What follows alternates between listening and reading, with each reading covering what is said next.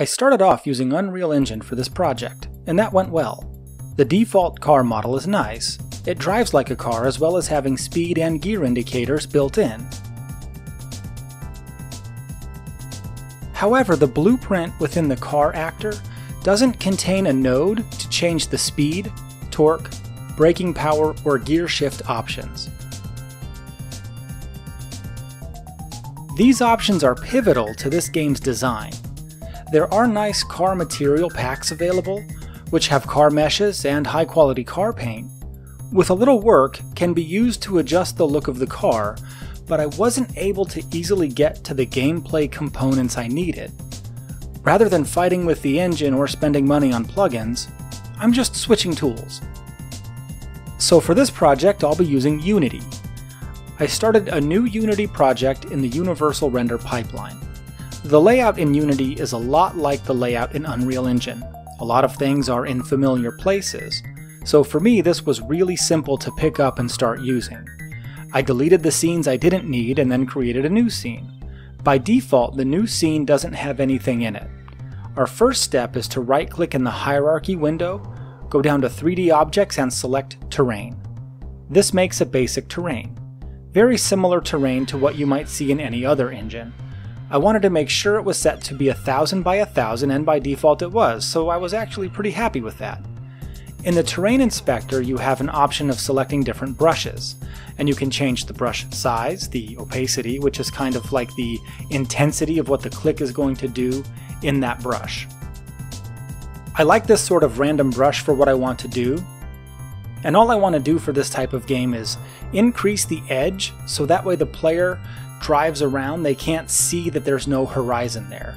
It's a really simple design.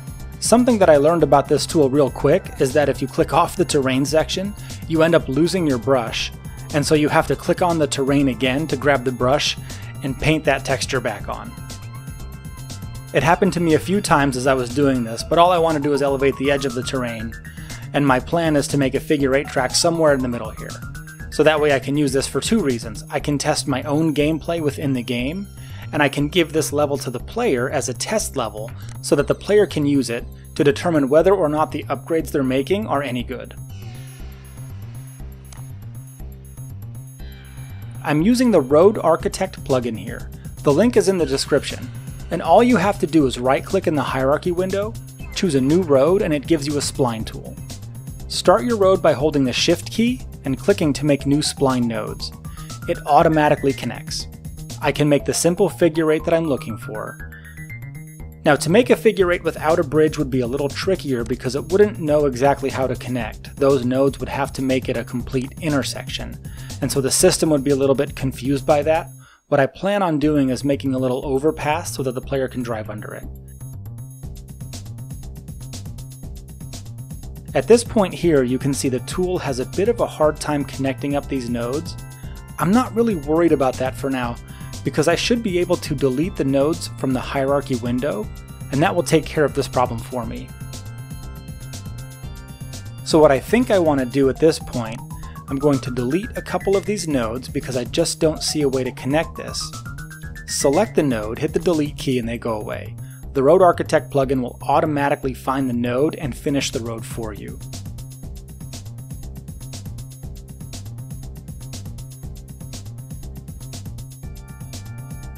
All I have to do now is elevate the section of the road that I'm clicking on, and then I can pass the rest of the road underneath this road, connecting it up to make the track. The material is pink now because it's set for the 3D pipeline.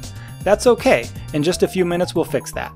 So if I elevate this node and the two nodes beside it, actually I might even be able to delete that node in my bridge, but we're going to increase the elevation so that way the player doesn't have to, too steep of a hill to climb as they drive. It's just a practice track, so we don't want to do anything too crazy. I want to increase the elevation here so that the player can actually drive under it comfortably without looking odd I don't want to confuse the player or also create a situation where they can drive off the overpass and then sort of cheat the track.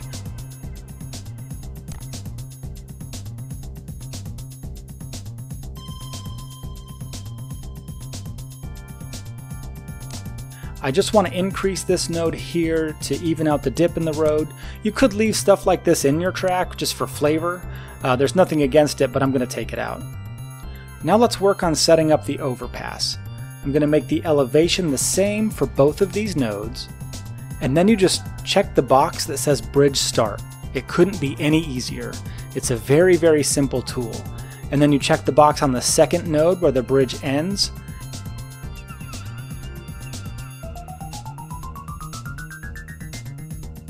and the system finds it and says, okay, that's the end of the bridge, and voila, it makes the bridge in the terrain.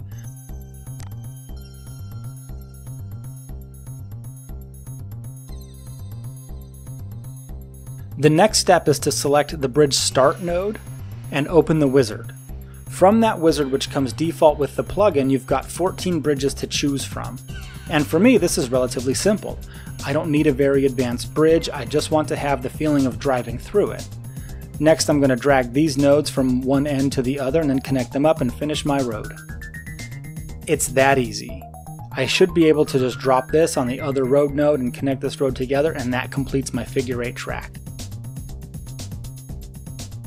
Something does seem off about this node, it's not quite connecting the way I want to, but I'm not going to troubleshoot all of that just yet. Next I want to fix this pink road issue. Go to the Edit window and then choose Render Pipeline. Now choose Universal Render Pipeline and upgrade project materials to Universal RP materials and this should turn the road from pink into an actual road. There we go, just like that, it's super easy. This free plugin is really quite advanced, it's, it's amazing actually. Nice having the ability to just draw a spline, it makes the road. There are many options out there with this tool that I'm not going to go into in this tutorial, but there is a link in the description for a full tutorial for this plugin. My goal here is just to make a simple driving level so I can test the features within my game rather than get into the nuance of the road, but there are many, many options.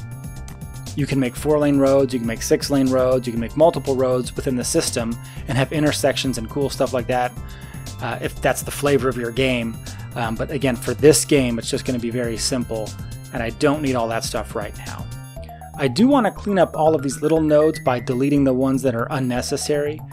I have a few that I just don't feel like I need. All of these nodes. There's also this rather jagged terrain on the side here that I want to make sure I will have the ability to either smooth out or do something else with. I could put rocks over the edge to hide it that way, but it looks like by default there's this nice smooth tool built into the engine and if you just hold the mouse button and drag it over these really hard slopes it smooths over the edges. And now I don't have to worry about adding more objects into the game which can help keep the game size down and has less objects to render. I'm not going to worry about doing too much of that for now anyways, because the gameplay elements are more important. I need to import a few assets here, all assets are downloaded from the Unity Asset Store. I'm importing them through the Package Manager under the Window menu. All the links are in the description, and once all those assets are imported, I can go into the Standard Assets folder and import the car prefab. The car prefab is actually kind of a nice default test car. The asset comes with a controller script attached to it, which will allow me to drive through my level and just kind of see what I've been able to accomplish thus far. I think the whole project up to this point has taken me about an hour. Now, if you're like me and you've just made a new scene, and make sure you drag the camera to the car and make some adjustments to the camera so that way when you play the game, the camera follows the car. And the default movement keys are there. I can just drive through the level that I've already made for myself, and this gives me some perspective. There are sounds playing, but I turn them off in the game engine because they don't sound all that pleasant right now, so, so you can't hear the default sounds of this car. That may come up later, but for now they are turned off. I can see the hills that I made on the far end. And here I go spinning out, so it's not even that easy. Alright, we're off and running. We've officially got started. The track is in and we can drive on it. Coming up is some set dressing for the track levels.